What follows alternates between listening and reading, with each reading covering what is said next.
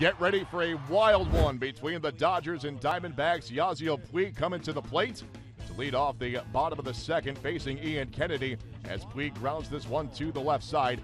Didi Gregorius fires over to first. Puig is retired, but a bigger concern is Puig coming up lame right here. Check it out again. He appears to tweak something as he crosses the bag. Puig would make his way down into the tunnel. He'd get checked on, but he would come out to right field to begin the top of the third.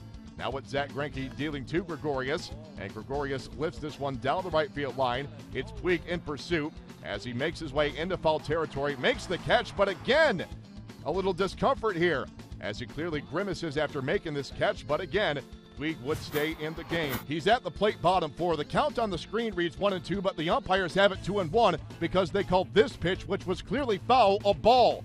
Even after a convergence, it remains a 2 1 count. Miguel Montero can't believe it so Kennedy's next pitch to Puig is a swing and a miss on what should have been strike three. Instead, it's just two and two. The next pitch, another swing and a miss, and Puig goes down on what was basically strike four. Now let's go top five. Our game is still scoreless. Jason Kubel tees off on Greinke, the two-run shot, and it's 2 0 Arizona. Bottom six, it's Puig back at the plate as Kennedy comes high and tight on Puig in a very scary moment right here as Puig getting hit in the face. Mark McGwire looking on with obvious concern. Check it out again. Puig with virtually no time to get out of the way of this one. Now, almost anybody else would have come out of the game, but Yasiel Puig is a special kind of cat. He remains in the game, takes his base down at first, and the Dodger crowd is eating this up. They can't get enough of Yasiel Puig. Next batter for LA is Andre Ethier. 2 2 to Ethier. Fly ball to right field. It's way back. It's on its way. Ethier strikes back for the home run and ties the game at two.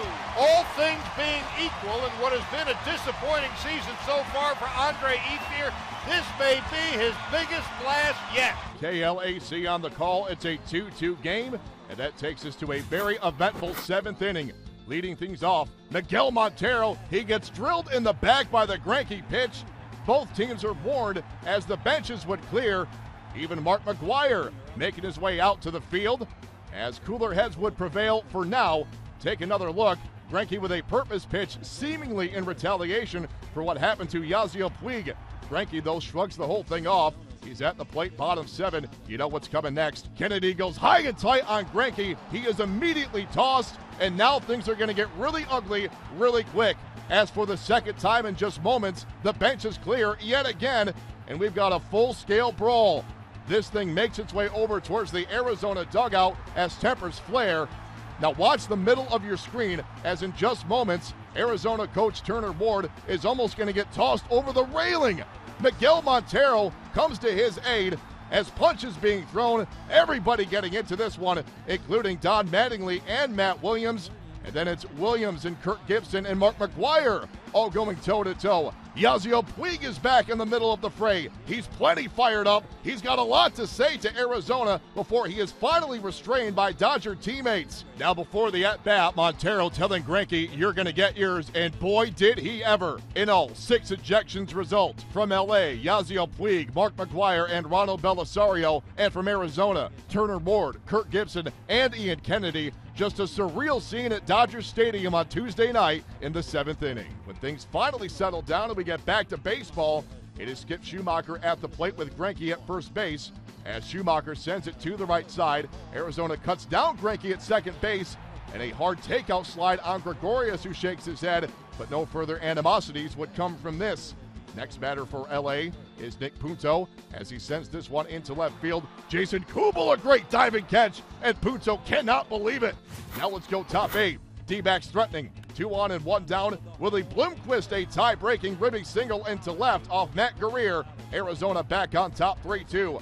Home half of the eighth now. The Dodgers threatening. They've got the bases loaded one away for Tim Federowicz. Set Federowicz with a fly ball to left field. Hey, that's pretty well hit. Going back to the wall, and it's off the wall. In comes Gonzalez. Ethier is behind him. Coming to the plate is Uribe. He beats the throw. A three-run bases clearing double for Tim Federowicz. The biggest hit of his major league career. KLAC on the call. The Dodgers come away with an emotional 5 3 win on a wild night at Dodger Stadium As they snap their five game skid at the hands of Arizona, Kenley Jansen recorded the save after officially being named the new Dodger closer prior to the game.